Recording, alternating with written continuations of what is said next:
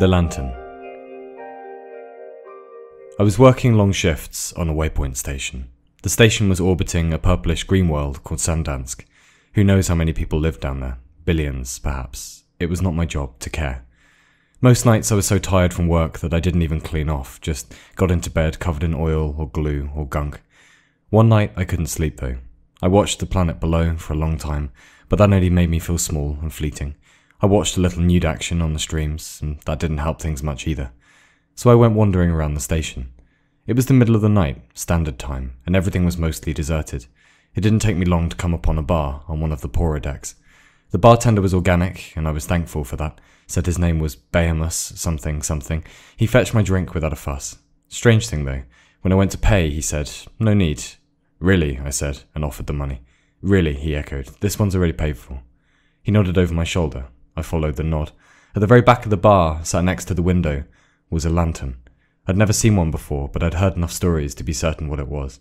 It looked to be about eight feet high, if stood. The skin was a gentle blue, though scaled like a reptile. The mouth was a small red rimmed pucker hole that opened and shut every few seconds. And the eyes, great dinner plates the width of a man's head, with emerald green irises bedded around the centre.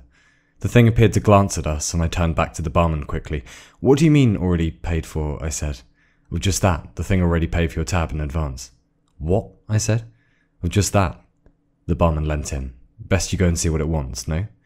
I think I might just drink up and go, I said. I think that's what I'll do. The bartender leant even closer. I've been working here 20 years or thereabouts. Not once has one of those things ever come down to the deck, let alone into the bar. Go and see what it wants. I threw back my drink and the barman poured another and gave a nod. When I reached the table, the creature didn't look up. Hello, I said. I believe you paid for my drinks. The thing had its eyes set on something out the window and didn't speak, just kicked a chair out for me with a great metal leg. The other leg appeared to be organic, and there wasn't a shred of clothing on the body, save for a strip of blue silk across the genitals. About its neck hung a pendant, and as it swang, it appeared to fall back through extra dimensions hypergeometric jewelry. You know how expensive that is. But it was the smell that really rankled the tang of ozone, the reek of iron, and a few spices I knew no name for. I sat down. The creature kept its gaze out the window, and perhaps a minute passed between us without a thing being said. Then, in a voice that sounded like gargled barbed wire, it moaned, That planet has 89 names. In the common tongue, it is Sandansk, though others call it Ikkoreb, and others call it Nomo 5, and others call it by other names. I followed its gaze, and sure enough, there was the purplish orb below us, minding its own business. The creature continued, but none of those 89 designations are its true name. All objects in the universe have a true name, the name the universe recognizes that thing by. It turned to me then, and its burning irises bore in like lasers. You have a true name, it said. Do I? I said very quietly. Yes. If a planet or an atom should have one, why not a person? Huh, I said. Would you like to hear it? Ah, not just now, thank you. It raised a quivering tentacle to the bartender, and he rushed over with another drink and set it down in front of me and raced off again. A thing's true name is not just its designation, the monster said, but it contains all the information one might want to know about an object. Its age, for example, its form, and the time when it will die. The thing nodded slowly to the barman. His true name is Shatner Senate, and from this we know he is a good man and that a heart attack will get him three years, one month, and thirteen days from now. It blinked slowly. I wondered to myself if the monster had a true name. Ah, it said, yes, of course I do. My blood ran colder. It waved a tentacle idly and turned back to the window to Sandansk below. But let's not talk about that now, it said. I'm sorry, I said in a mouse's voice, but what do you want with me? The mouth opened and shut, taking snaps of breath. The eyes blinked dreadfully slowly. Do you know what I am? the creature rasped. I'm. I'm not sure, I said. What do they call a thing like me? Uh, a lantern, I think, I said. And do you know why? I shook my head. It nodded to a docked void skipper, perhaps a half mile away. The ship looked like a nimble black fish. I suppose you don't know how your void ships reach the stars, it said. No, I don't. Well, it continued, it's a complicated process. It's made even more complicated by the fact that when a ship enters ether space, computers don't function, and humans don't function either. Any complicated machinery must be switched off, and humans must be put into transit sleep, packed away like sardines. The mouth made some strange imitation of a smile, then corrected. Failure to do this will result in broken machinery and broken humans. The only processes left online during the trip are very simple life support and very simple piloting equipment. When I say very simple, I mean it. The control yoke is linked to the motion fins by wire. Wire. Travelling to the stars by thread and pulley. Well, that can't be true, I said.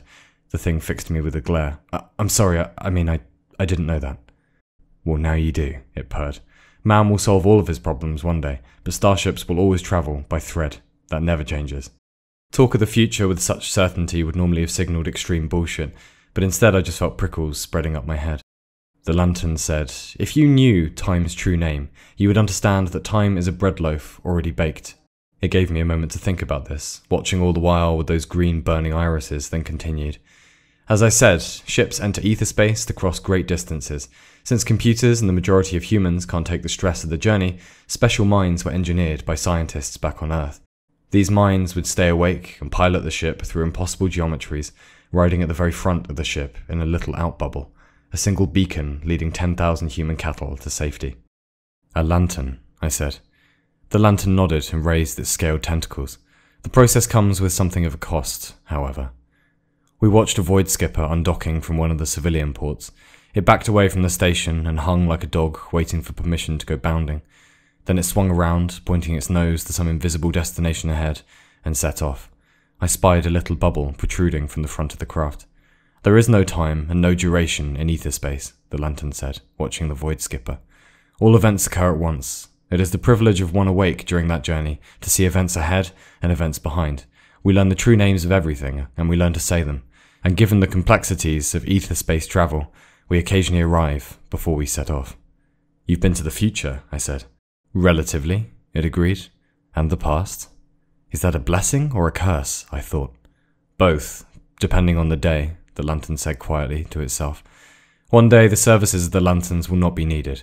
Men and women will learn to bear ether space in school as you learned the alphabet. That time will not be for another 3,000 years, however. It snapped its tentacles tight, then loose. Her name is Paula Hammond. What? I said. The creature gestured with a tentacle.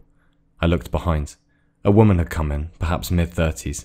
She sat alone at the other end of the bar, reading. She has lived a fairly dull life, full of waiting, the lantern said, waiting for the right relationship, the right career. This was all in vain, of course, as she'll be killed in a welding accident two and a half months from now, down on the construction deck. The girl glanced over at us, at the lantern, I suppose, then quickly turned her attention back to her book. I remembered a bit of temporal physics from school, and I said, It's not a changeable thing, is it? The lantern shook its head. Of course, it said, though now you're wondering what your future looks like. I am, I agreed. Another silence passed, and I snatched a glance at the girl with her book. I knew the paradox well enough. In trying to change her fate, I would only seal it. You're tired, I'm tired, the lantern said quietly. Let's not bullshit anymore. It took my drink in its tentacles and necked the thing. It wiped its strange, snapping mouth. It said, Lanterns live a very long time, but we're not immortal. Every now and then, we have to recruit. It isn't a pleasant initiation process, but the rewards outweigh the growing pains. It left that hanging in the air and stared into me. What? I said. I've told you how it is, it said. You have the mind for the career. You'll be beyond the limits of distance and duration. You will see into things as they are. You will learn the true names of the world. And in return, you need only guide a few starships from sun to sun. All of eternity in exchange for a little shepherding. What? I said again. You'll need some work done to you, back on Earth, but it won't hurt so much. I'll give you a few moments to think it over. I was quiet a little while, then gave in to the giggles. It watched me without expression or comment. I- I'm sorry, I said, but my time is short, it interrupted. I'll save you the trouble. You're going to protest about what short notice this is, how ridiculous it seems. You'll thank me politely, but ultimately explain in a roundabout way so as not to offend that you like your life now and don't feel the need to go jaunting off into the universe at a moment's notice. You won't say this, of course, but there, that's the shape of the thing, yes? I nodded meekly. It turned its massive eyes back to the void skipper. The ship was barely visible now, a smudge among the stars, probably powering up its main drive. I imagined the interior, the crew all frosted in long sleep, the ship drones cleaning the corridors and the canteens and the laboratories. And at the front of the ship, in a small, transparent enclosure, I supposed, was a hunched monster with enormous vermilion green eyes and a puckered mouth that frantically opened and shut, its tentacles wrapped about the control yoke and its mind already trained on infinity. Let me make this easier for you, the lantern said in a dark voice, its gaze still on the void skipper. You haven't recovered from the breakdown of your marriage. You never will. You're constantly waiting for a promotion to the craftsman's deck, and it will come, two and a half years from now, but the work will be hard and the pay won't be much better. And even though you'll regret taking the position, you'll remain in it due to your, frankly, excessive pride. You will die in 30 years, 7 months, 4 days, and 10 hours from now in a. Please don't, I said. In a decompression accident aboard a void skipper bound for Ithaca. As your lungs explode and your blood boils, you will think very quickly about what a boring life you led and how fear constantly held you back from pursuing your true passions. Ironically, you will not realize your true passions until that very moment. The puckered mouth appeared to smile again.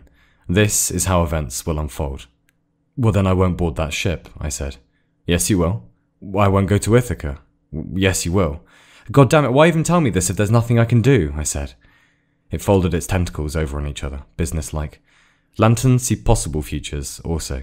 Your death aboard that void skipper is one, but there is something you can do about it.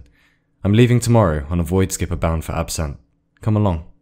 And what? I said. And sit up front with me. Catch your first glimpse of ether space. The ship will jump to Ribbon Dash, and you'll see what it is that I'm getting at. You've got the brain to handle it. After that, we'll jaunt to Earth, get you ready for proper training. And after that, you'll be a lantern. And if I don't want to, I said. The lantern shrugged. Then I wish you luck with the rest of your life, and assure you again that there'll be no reaching Ithaca alive. Out the window, beyond the planet, in the black, the Void Skipper activated its ribbon dash drive. Space lensed for a moment, then the ship was gone. I'd offer you another drink, but you're about to go to bed, the lantern said. Well, I was thinking about it, I said. It stood, loomed over. It regarded me again with the green dinner plate eyes and didn't blink. My Void Skipper leaves at 10 tomorrow, standard time, it said. Look, I appreciate the invitation, but I'm really not interested. Thank you, though. It bowed to me, and the air reeked again of ozone. Then it made for the door. I sat back and stared out the window, down at Sandansk, then to where the Void Skipper had been. There was no trace of it now. One could scour the whole universe and find nothing, not until it popped back out into regular space. Where had it gone? Into Everwen, into that place between places, up to a boundary and beyond it. I called out, Why come? And from right behind my ear the lantern said, What's that? I tried not to jump. You've been waiting there? You had a final thing to say. We'll say it now then. I said slowly, Why did you come to ask me what you asked me? You've seen the future, you said so, and the future doesn't change. Why ask me if you knew I'd say no? The creature bent down slowly to my ear, and I felt the coldness of its skin sucking the warmth out of mine. I smelled its breath, and it was not unpleasant and not pleasant. I heard its mouth snap shut, snap open, gasp. Finally, it said, I lied. I came to you because you will think the matter over tonight and seek me out tomorrow, and we'll travel together. I wouldn't waste my time on you otherwise. It put a tentacle on my shoulder. This is one of the few rituals among lanterns. We may come to our past selves and make the offer. 10 o'clock tomorrow. See you there.